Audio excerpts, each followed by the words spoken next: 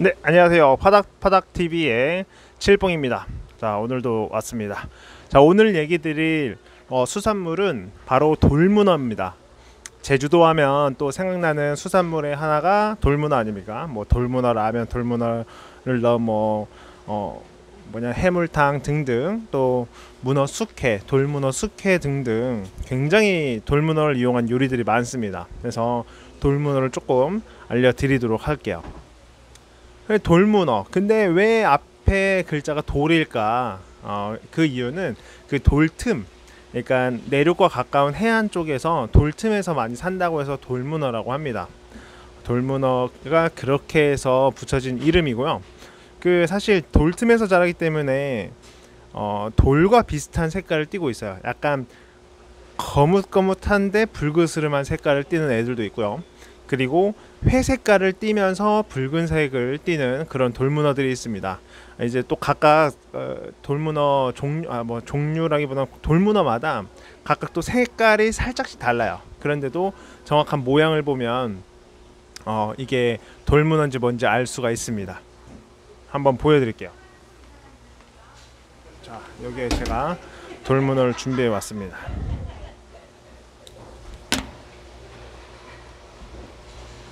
이렇게 보시면 잘 보일지 모르겠네요. 이게 까면은 돌문어 굉장히 막, 막 나와가지고 아씨 안 보이네 잘 보여드려야겠다. 이거를 떼서 보여드릴게요.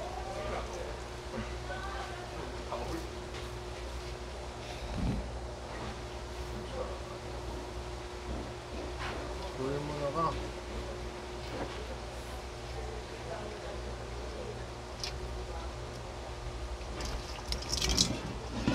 오씨 자 요렇게 생겼습니다 이렇게 얘는 약간 회색깔을 띠고 있죠 회색깔의 검붉은 색깔 이렇게 띠고 있어요 빡쳤네 잠시만요 자 이렇게 생겼고 가까이 보시면 이 무늬 보이세요 문? 가만히 좀 있어라 머리 보시면 그 오각형? 오각형? 그 오각형의 줄무늬가 있어요. 무늬가 있는데 이 무늬로 돌문어라는 걸 확인할 수 있습니다. 자, 됐고. 자, 나는 옆에 있어라. 자, 이렇게 아, 자 이렇게 찍는 건 처음이어가지고 오 잠시만요. 돌문어를 안에 잘 담아 놓을게요.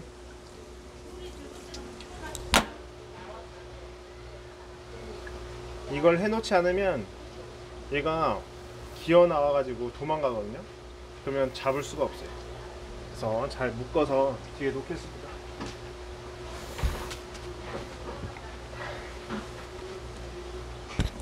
자, 잘 들여놨고 이 돌문어 어, 싫어하는 사람이 많이 없을 거예요. 숙회해서 먹으면 숙회 회지만 어, 삶아져서 나온 회기 때문에 남녀노소 누구나 다 즐기실 수 있습니다. 그리고 보양식으로도 많이 알려져 있고요. 음, 그다음 뭐 제사상에도 올라가고요. 어, 어떤 사람은 구워 먹기도 하고 쪄서 먹기도 한다고 합니다. 음. 또 제주도에서는 아까 말했던 그 해물라면이 굉장히 유명하죠. 음. 어, 국내에는 문어 종류가 두 가지가 있습니다. 어, 많은 분들이 잘 모르실 텐데요. 참문어랑 대문어 이 종류가 있어요. 지금 이 영상에서는 자세하게 설명은 안 하겠습니다.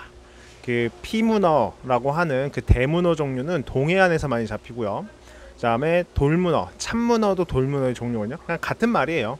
참문어, 돌문어는 남해안이나 제주도 연안 그 돌이 많은 지역에서 많이 삽니다. 돌문어가 자 그렇게 살고 있습니다. 그래서 이거는 자세한 내용은 다음에 기회가 되면 다른 영상으로 또 알려드릴게요. 어, 자, 그러면 맛은 어떨까요?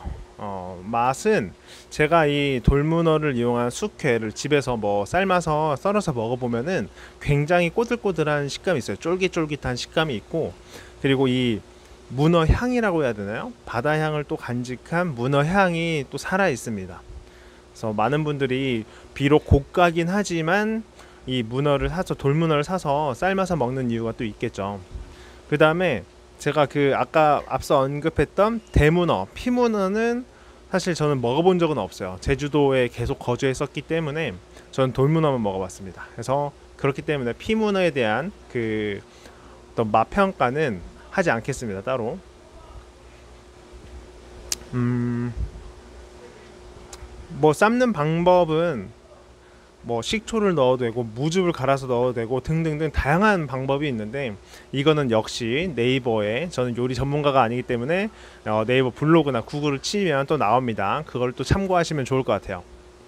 그리고 이 아주 아주 중요한 단가는 어떨까요? 돌문어에 이 돌문어가 키로에 지금 현재 어, 키로당 2만 5천 원에 거래되고 있습니다. 2만 5천 원 선에서 왔다 갔다 하고 있는데 사실 그 제가 조금 조사한 바로는 피문어 어, 동해안에서 나오는 그런 대문어 피문어와 음, 비교하면은 굉장히 단가가 높아요. 그리고 등락률 어, 그러니까 오르락 내리락 많이 합니다. 심하게.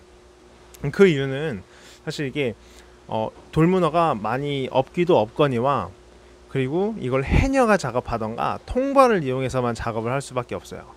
그렇기 때문에 오, 오! 오우씨. 나중에 빼야겠다. 저렇게 묶어 넣어도 도망가는데 안 묶어 놓잖아요. 그러면은 막 여기저기 다 쏟아내요. 다행히 묶었기 때문에 그냥 냅둬도 될 것 같습니다. 죽진 않겠죠 뭐.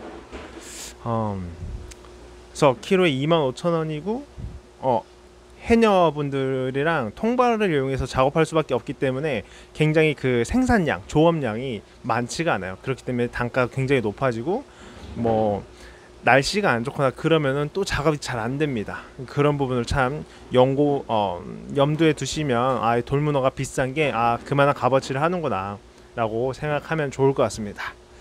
자 여기까지 오늘 돌문어에 대한 이야기였습니다. 아, 부족하지만 굉장히 끝까지 봐주셔서 감사하고요. 다음에 또 더 좋은 영상으로 제주도 해산물에 대한 내용으로 찾아뵙도록 하겠습니다. 네, 감사합니다. 건강하세요.